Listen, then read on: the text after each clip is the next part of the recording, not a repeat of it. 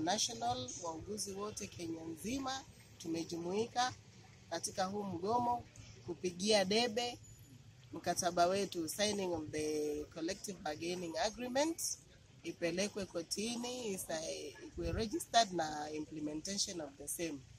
Huu mgomo umeanza kwa sababu tulikuwa tulishapeana ilani kuanzia tarehe ishirini na tatu Mei, tukaeleza serikali kwamba wajitayarishe, kama hawata sign sisi tunatoka nje. Mgomo wenyewe ulikuwa mwaka jana kuanzia tarehe tano mpaka tarehe kumi na nne mwezi wa Disemba, tukaususpend kidogo tukingojea hizo negotiations tuzifanye na hiyo agreement isainiwe na nini tukawa tumeweka tarehe ya mwezi wa Machi, lakini kufikia Machi tukawa hakuja sainiwa hiyo document.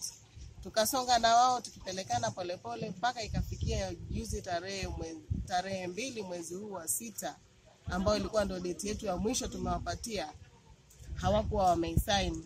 Kwa hivyo ikawa haina budi sote tujumuike katika hii strike, maanake ni a nationwide strike, all nurses wako katika hiyo strike. Na kuanzia hivi leo tume withdraw services zetu sisi kama wauguzi Kenya nzima, hatufanyi kazi, si wodini, si kliniki ambazo za waja, wamama wajawazito na chanjo, si maternity kwa kuzalisha wajawazito, kote.